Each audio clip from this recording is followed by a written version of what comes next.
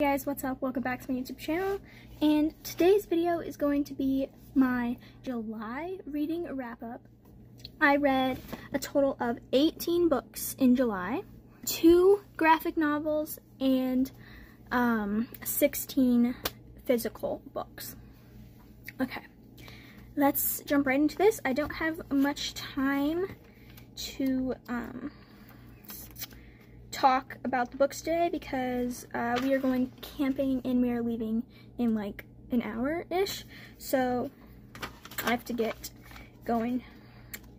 So the first book I read this month, if I can find the page in my reading journal. First book I read this month was The Girl from the Sea by Molly Knox Ostertag, and I rated this 3.75 stars. This was a graphic novel that I picked up from the library, so I do not have a physical copy of it because I have already returned it. So, 3.75.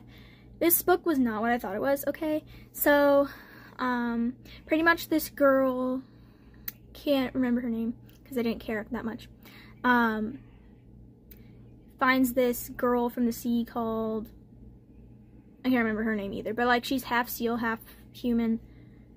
Oh, okay. Next one I read was This One Summer by Jillian Ann Matino, which I rated this 4.25 stars. This was just like, this was also a graphic novel that I picked up from the library.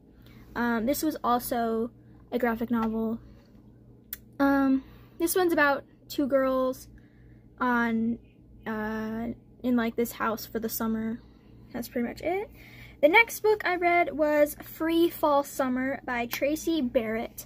I rated this 4.5 stars. This was just a regular book um, about a girl, can't remember her name, but it's like a skydiving book and like there's tons of drama and stuff. It's It was pretty good. Okay, next book I read was Camp Confidential number two, Jenna's Dilemma.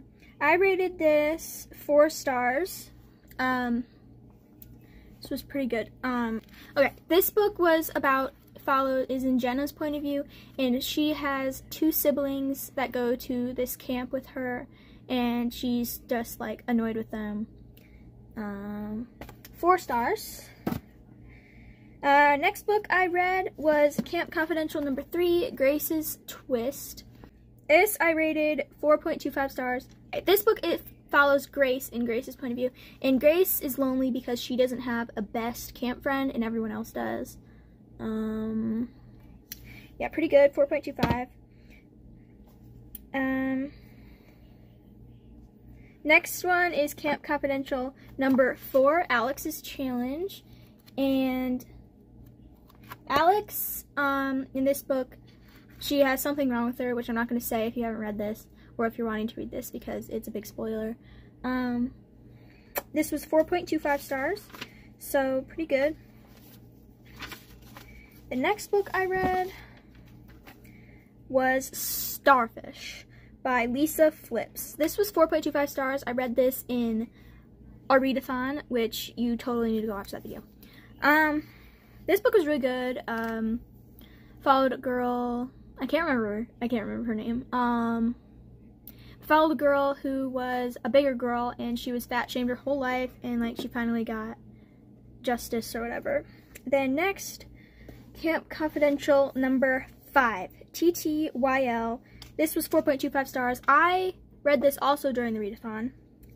Um, this one was pretty good. It was like, it was in a couple different point of views. Um, and the girls are home from camp now. So it was it was decent. Then I read Camp Confidential number six, RSVP. This one I did not like so much. It was 3.75. I also read this in the readathon. Um, this one was in different point of views, but it wouldn't tell you when it was switching point of views. So like it'd be in one girl's point of view and then the next paragraph would be in different ones and it wouldn't tell you. So I didn't like that. This one was the camp reunion. So like six months after camp ends, they'll do a reunion, like, before camp starts or whatever. So that was this. I rated it 3.75.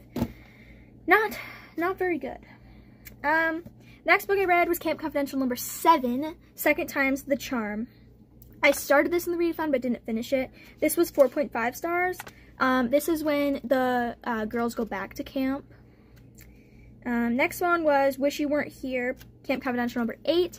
This one I rated 4.25 stars. It was followed a girl named Sarah and a girl from her school came to camp and um, she wished she wasn't she wished that that girl was not there. Next one was Camp Confidential number 9 and this one is in Priya's point of view and she um, is has had a boy best friend named Jordan his her whole life.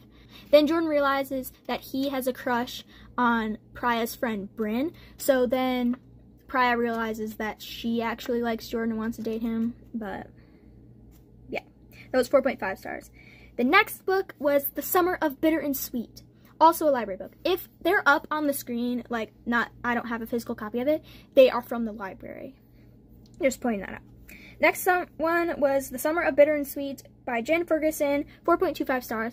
This book followed, I can't remember their names. This girl followed a girl who um, worked at an ice cream shop and there was tons of drama and it was really good. Um, 4.25 stars.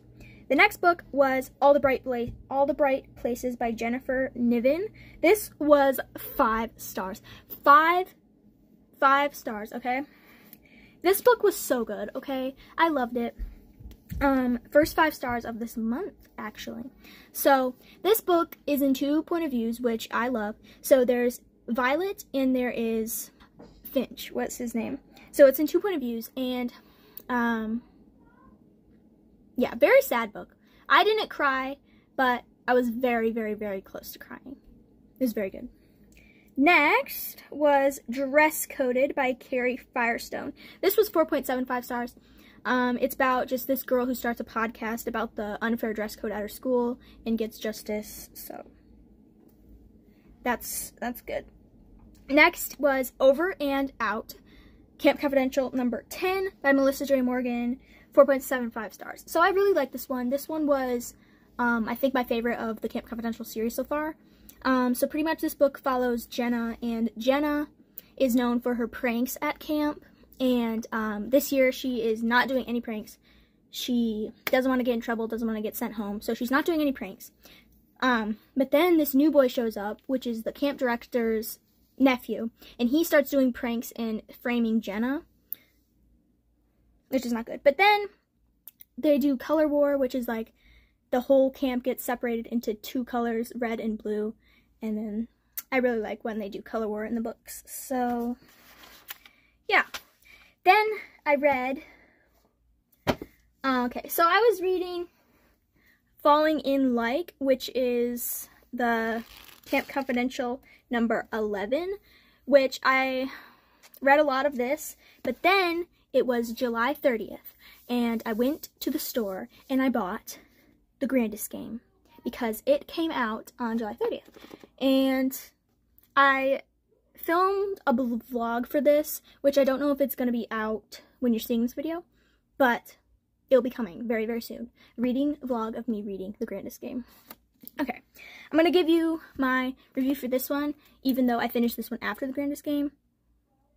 Anyway, Falling in Like is in Tori, Priya, Valerie's, I think there's only three point of views. Those three point of views.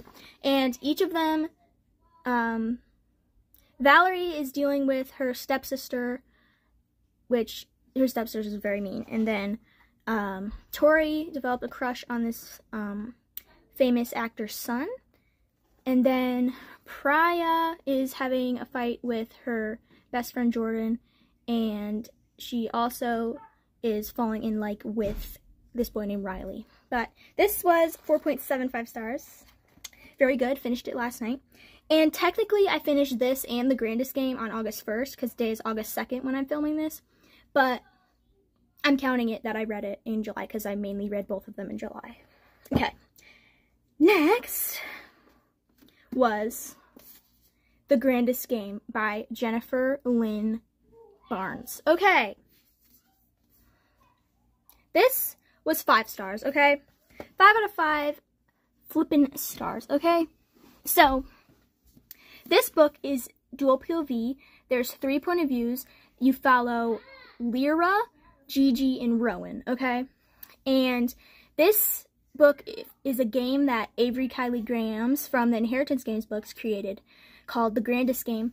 And they have to, they get chosen with golden tickets or they find a golden ticket and they get to be in the game. And if they win the game by doing puzzles and stuff, um, then they get $26 million. There are seven players that were chosen, okay? And so then the Rowan, La Lyra, and Gigi were playing the game, obviously. Um, that's all I'll say. But let's just say I was not happy with how it ended. Okay. So, this was five stars. It was really good. Plot twists were plot twisting, okay? jaw on the floor. The tension in this book between characters, insane, okay? Um, but yeah. That is all the books I read in July. It's now August. I'm going to pick my TBR for August now because I don't really want to do two separate videos because it's not going to be um, a long video if I do um, if I do do it, picking my August TBR. So we're just going to do it now. So in my on my August TBR, I would like to read the rest of the Camp Confidential series, and I would like to finish um, up my library books. So the library books I still have only two. If you watched my last picking my July TBR video, you'll know that I had like 11 library books that I, I had um, gotten and I have to read them. So I only have two of those left now. So I have The Island in Love and Gelato, which I'm packing those to go camping with me. I'm only going to be camping for three days, so um, I don't know how busy I'm going to be camping, so I don't know how much reading I'm going to do, but I'm just bringing them just in case. And I'm bringing two Camp Confidential books, also just in case. But, um, so, anyway, those are on the TBR. Um, and I think this month, if I like the first Love and Gelato book, I think I want to read the other two in that series.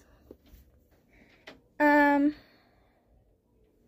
and I want to finish up the um, the selection series, which that's just in maybe it's on the TBR. I don't know if I'll get to that, but yeah, I think that is all for the TBR this month.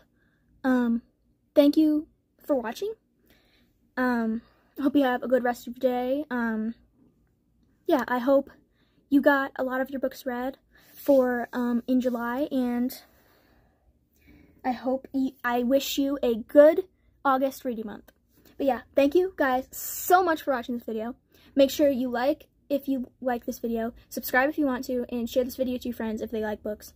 But yeah, thank you so much for watching. Peace. sneeze. Next one was he's crushed as oh, what they call him. Um